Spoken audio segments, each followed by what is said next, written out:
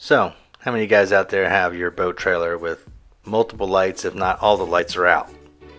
In this video, I'm going to show you how to rewire a boat trailer, replace your side marker lights, and install new tail lights.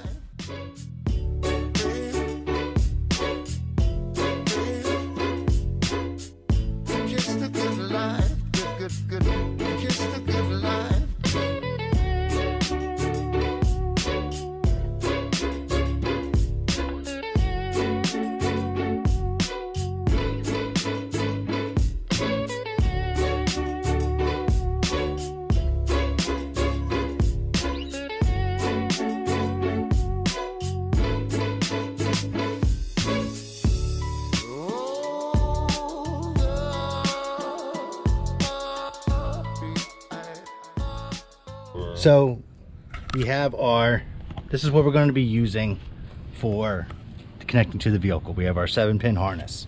Now we have the seven pin adapter to a five pin flat pin adapter. And that's going to actually go to the tongue of the trailer. Then our next step is to hook our five pin flat connector to this connector here. And then the green and the brown will go down the starboard side of the trailer and the yellow and the brown will go down the port side of the trailer.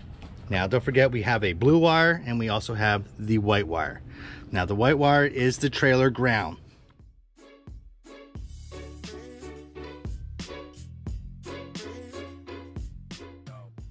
Now the blue wire, everybody forgets about the blue wire.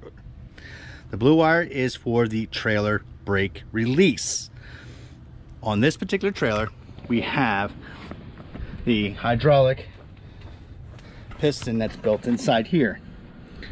If you do not stick that blue wire on and when you go into reverse, it will not release the actuator to release the brakes. So when you go in reverse, it's gonna lock down on the brakes. So very important to make sure that we install that.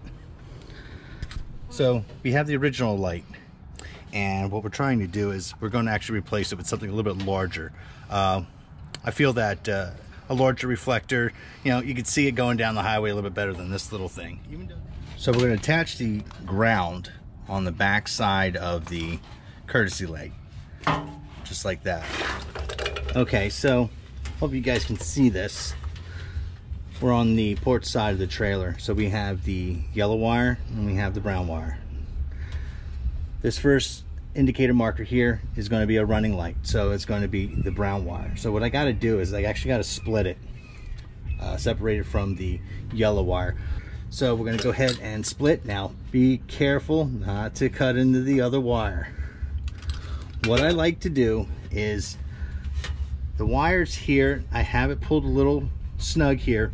I'm actually going to pull back a little bit because I like to give it just a little bit of slack. So down the road, a year down the road, when I have to replace this light again. So I'm gonna go ahead, I got the brown wire, which is the running lights wire. I'm gonna go ahead and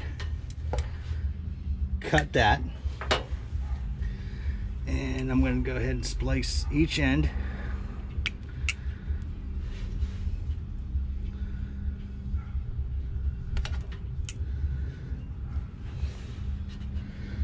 And I'm going to go ahead and just cut just a little bit more off of this. Just not enough wire showing. Then I'm going to go ahead and tie those together.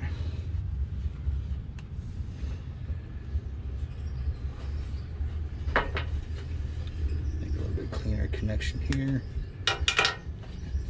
And then I'm going to use the heat shrink blue butt connectors. Now be careful when you guys crimp down on these. You can go through the plastic. We don't want to do that because then there's no purpose of actually having a rubber coated waterproof case in there.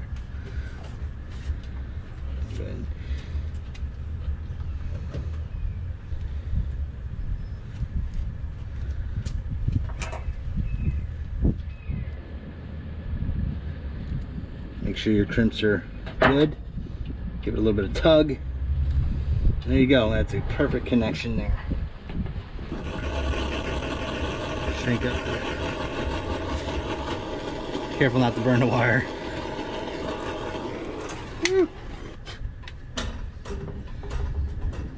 there we go perfect connection now I do have extra slack on here so what I like to do with these I'm just gonna go ahead and roll it up just a little bit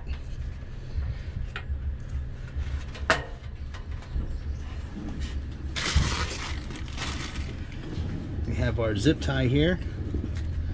I'm gonna go ahead and pull a little bit of slack here, make the wiring look nice. Zip tie on put it in a little hole here on this trailer.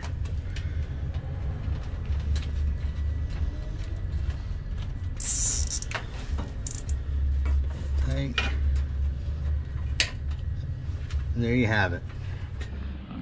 Okay, so one of the connections, uh, we actually have to extend the wire because um, we don't want to actually loop the trailer harness to come down this leg here uh, to this side marker and back. So we decided we were going to go ahead and add a piece of wire, but we decided also to solder the wire in. So do that, we're going to go ahead and splice back a little bit. Going to go ahead and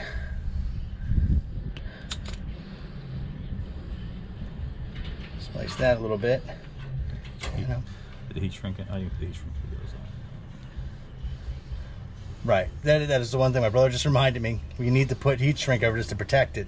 Lucky we do not connect this end until you actually add the shrink, uh, shrink wrap tube over the wire. So don't make that mistake. So my soldering gun's already heated up. We're gonna go ahead and just make sure that we are there. Let's get that wire nice and hot.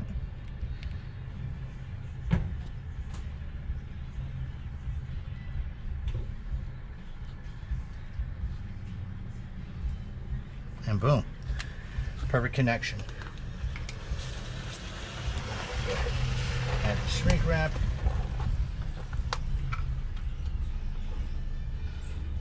Tube there should be good. Go ahead and cut this to size. Go ahead and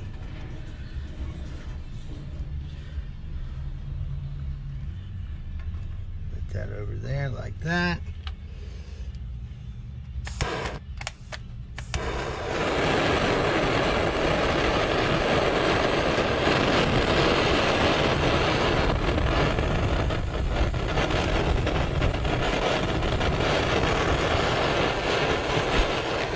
that's how that's all right so what used to be a center light for this trailer is now gone. The only thing left is the rivet still there and we want to install this. Um, it has two wires on the back it's a white and red one and we're gonna actually run both. One is the ground one is the power for the parking illumination. So First thing we're gonna do is we're gonna drill out the rivets and we're gonna install in self-tapping screws and run the wire over to the either the starboard or the port side tail lamps.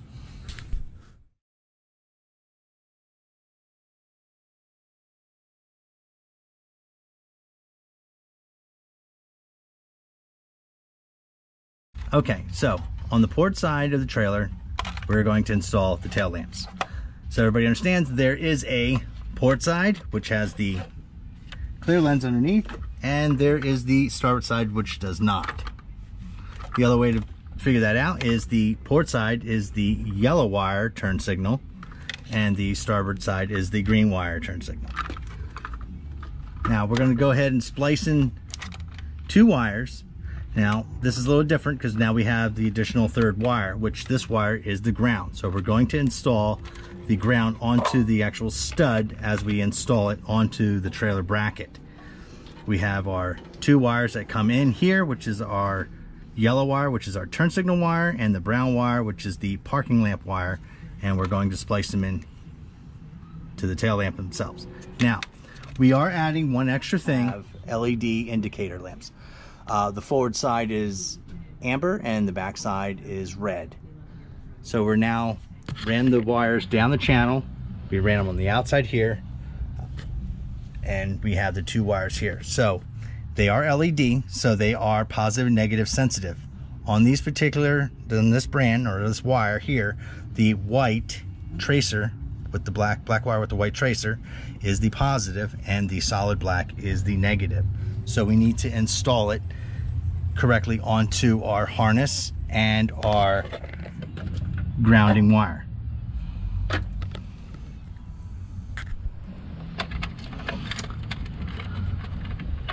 Okay, there's two ways of putting this ground wire on. Uh, some people like to put it on the inside. I'm going to install it on the outside because I have to splice the additional ground I need off the side trailer marker.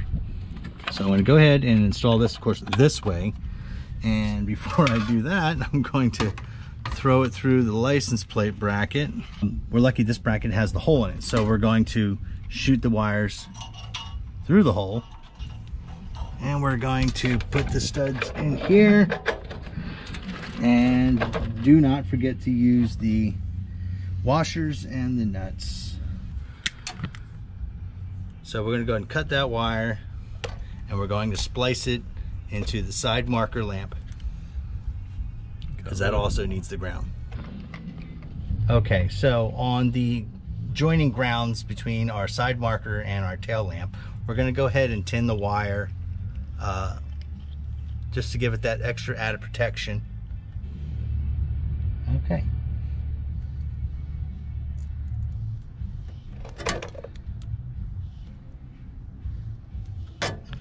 Then we're to go ahead and install that on that stud.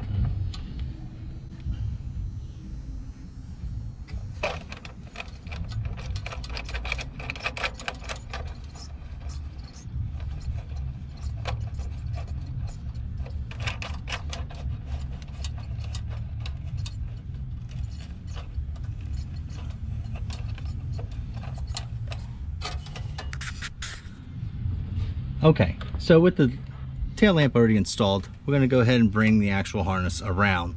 Now again, we like to leave a little extra slack in there for any type of future repairs if we need to cut back on the wire.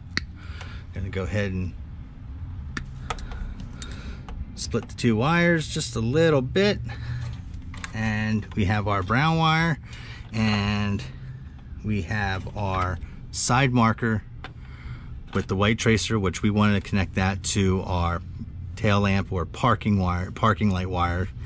I'm going to go ahead and also we're going to solder this together for a really good connection. And then we're going to go ahead and heat shrink them together because this section of the trailer constantly gets submerged in salt water and if we don't waterproof our connections well enough it's only going to last a couple months.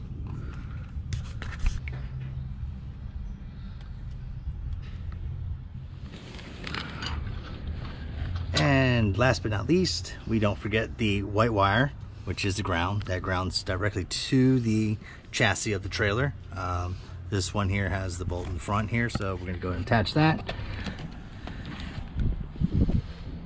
Adapter connected to the trailer connected to the harness. And walking down testing out our lights. Our side markers are now working very well.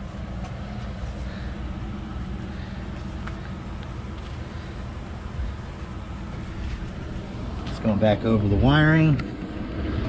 Each one now has a little slack heat shrink and or soldered Well, I hope you uh, were able to take something from this video and was able to use it on your own boat trailer. Um, just let everybody know, um, we did not forget the blue wire. Um, actually just forgot to record that section of the of the trailer as we were working on it. So please leave any comments, uh, like and subscribe. Um, thanks a lot.